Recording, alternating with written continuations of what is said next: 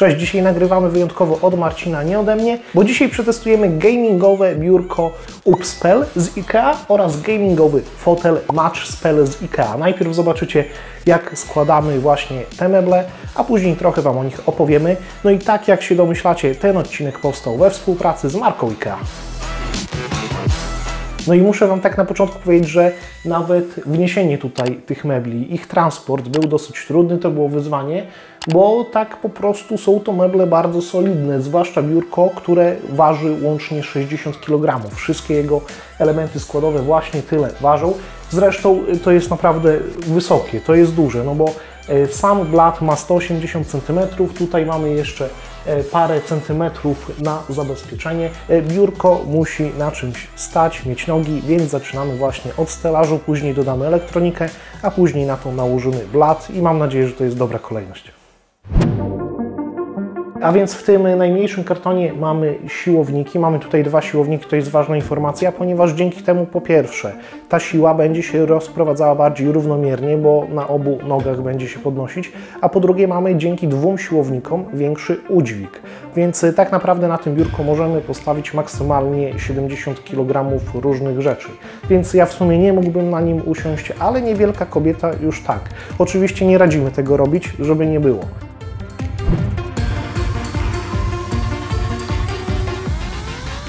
Drugim pudle mamy nogi. Nogi są wykonane z metalu, no a blat, blat jest po prostu ogromny. Za chwilę Wam o nim powiemy trochę więcej, bo mamy tutaj e, kilka ciekawych rozwiązań, dzięki którym możemy na przykład uporządkować kable albo dostosować biurko do własnych potrzeb.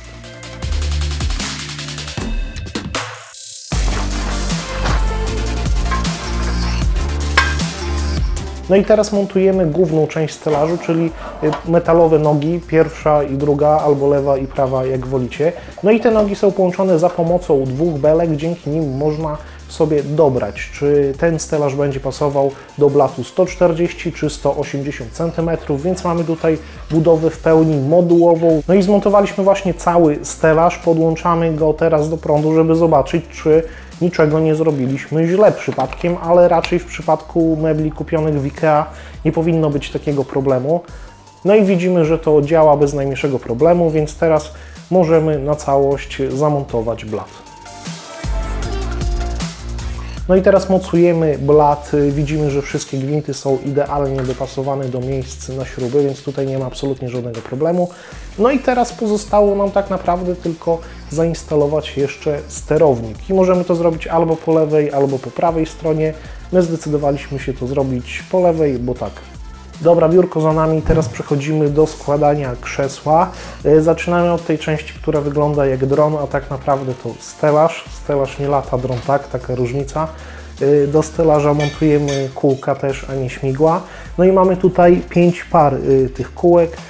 Później musimy zamontować na tym stelażu główną część, no i też te części pomniejsze, ale to wszystko jest naprawdę bardzo łatwy proces i podejrzewam, że nikt nie będzie miał z nim najmniejszego problemu.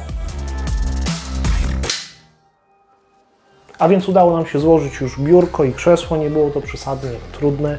Takie klocki Lego dla dużych chłopców, albo w tym przypadku dla gamerów, gamerów, jak ktoś po polsku woli.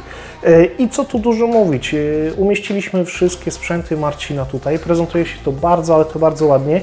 I ogólnie to biurko jest tak po prostu stabilne, tak jak mówiłem ta waga robi swoje. Ja jestem stabilny, biurko jest stabilne, ciężkie rzeczy są stabilne. No i kiedy złożyliśmy to biurko, to nasza pierwsza myśl była, że o matko, jakie to duże biurko. To biurko jest tak duże, że podchodzisz do niego, patrzysz na nie i myślisz sobie, o matko, jakie duże biurko. Podejrzewam, że zmieści się tutaj naprawdę dużo, tak jak mówiłem. Jeżeli takie biurko dla kogoś będzie za duże, to może wybrać też model z mniejszym 140 cm blatem. Dla każdego coś miłego. No i ten gamingowy charakter biurka że to była współpraca z Asus Republic of Gamers widać też po nogach, na których znalazł się bardzo ładny gamingowy wzór. On mi się naprawdę podoba i co jest ważne, nie jest nachalny. Nie mamy tutaj jakiegoś RGB i tak dalej. To jest po prostu ładne, estetyczne i minimalistyczne. I tak naprawdę to jest biurko wielofunkcyjne i do grania, i do pracy, bo to działa tak, że grać to chcemy przecież bardziej na siedząco, tak jak teraz jestem, ale jeżeli chcemy pracować, no to już praca na stojąco może być czasami wygodniejsza. No i wtedy wybieramy odpowiadający nam profil i dzieje się magia. Aż wstanę. Mamy tutaj kilka przycisków. W górę możemy sobie wybrać na ile podniesiemy albo obniżymy biurko, więc w górę, w dół mamy cztery profile, które możemy zapamiętać i za pomocą tego przycisku właśnie je zapamiętujemy. No i tutaj mamy na przykład minimalną wysokość tego biurka i możemy wybrać dowolną wartość pomiędzy wysokością 72 a 120 cm. No jak widzicie teraz jestem właśnie w pozycji stojącej i bez problemu mógłbym właśnie w ten sposób pracować przy komputerze. Ktoś może zapytać po co i już tłumaczę. Siedzenie jest generalnie niezdrowe, a my gramy na konsoli albo na komputerze, siedzimy. Oglądamy film, siedzimy. Pracujemy, siedzimy gramy na komórce, siedzimy, tylko gdzie indziej. Y, I tak naprawdę trochę tego stania nam się przydaje. A teraz trwa pandemia, mamy mniej ruchu, więc chociaż przy tej pracy, nie mówię cały czas, ale czasami postójmy i zadbajmy chociaż o tą stabilizację naszego ciała. No i bardzo ważne jest też, że to biurko jest tak po prostu ciche, bo widzieliśmy wcześniej różne biurka elektroniczne, elektryczne, chyba elektryczne, tak to trzeba nazwać, i one były po prostu głośne. A tutaj, no naprawdę, mogę mówić E, w trakcie, kiedy ono się podnosi. No i wydaje mi się, że mój głos jest jednak dobrze słyszalny. Sami to ocencie. Już. I część z Was może się zastanawiać, jak IKEA w ogóle zrobiła gamingowe biurko, przecież oni nie wiedzą nic o gamingu. I y, tak naprawdę nie mogę się z Wami zgodzić, bo musicie pamiętać o tym, że to biurko powstało we współpracy dwóch firm: IKEA, która robi meble, y, oraz Asus, i ta firma z kolei zajmuje się gamingiem, bo tu mamy przecież dwa sprzęty gamingowe, które już testowaliśmy u nas na kanale, czyli Zephyrusa G14 oraz Asus ROG Flow, czyli taki mały, cienki laptop, który dzięki stacji dokującej może stać się bardzo mocną stacjonarką do gier. Więc mamy tutaj naprawdę dwie firmy. Jedna tworzy meble, druga zajmuje się gamingiem i z ich połączonych mocy powstało biurko gamingowe. Poza tym to jest rzecz przemyślana, bo poza tym, że mamy też sterowanie, że możemy siedzieć, że możemy stać, to tutaj z tyłu mamy też wcięcie, gdzie mogliśmy bez problemu schować przewody. I tak naprawdę zrobiliśmy to, bo nam się tak podoba, ale gdybyście chcieli mieć to wcięcie z przodu, żeby siedzieć bliżej monitora, to jak najbardziej też możecie to zrobić. IKEA na to pozwala.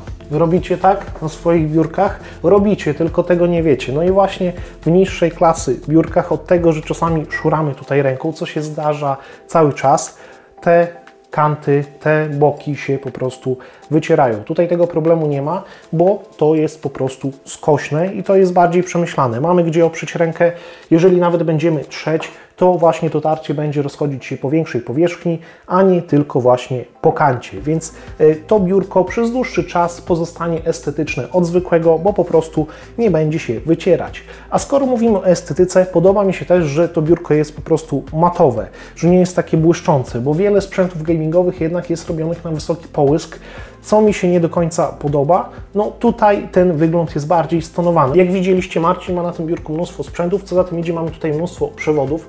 No i cechą takiego biurka siedząco-stojącego jest fakt, że no te przewody muszą y, być dostosowane i do jednej pozycji, i do drugiej, do obu skrajnych, a nie zawsze da się to zrobić, co widać chociażby po tym routerku, który tutaj może stać i mu to stanie w tej najwyższej pozycji nie do końca wychodzi. No i oczywiście 90% przewodów znajduje się tutaj, mimo że Marcin ma bardzo dużo sprzętów, y, tutaj jest jakieś 10% ale jeżeli macie na biurku mniej sprzętów, no to być może wystarczy Wam tutaj tylko jeden przewód y, od samego biurka. Moim zdaniem to biurko jest bardzo ciekawym sprzętem, jednym z najciekawszych, jakie miałem okazję testować, bo jednak gamingowe. Mamy ten sterownik i możliwość ustawiania wysokości, mamy wyświetlacz, y, i tak naprawdę to jest biurko tak po prostu wygodne, bo ja muszę się przyznać, wcześniej nie miałem okazji pracować na stojąco, a to jednak jest coś nowego. To jest coś ciekawego, na przykład jeżeli Was plecy bolą i nie chcecie cały czas siedzieć, ja tak czasami mam, no to można wstać i sobie jednocześnie, no nie powiem, że ćwiczyć, ale przynajmniej nie być tak leniwym jak zwykle. Dobra, to tak naprawdę byłoby wszystko już z biurka. Chyba udało nam się powiedzieć o absolutnie wszystkich jego istotnych aspektach. Jak czegoś brakuje, to oczywiście możecie dać znać w komentarzach i wtedy Wam też o nim trochę więcej opowiemy. Mogliśmy coś pominąć, zdarza się.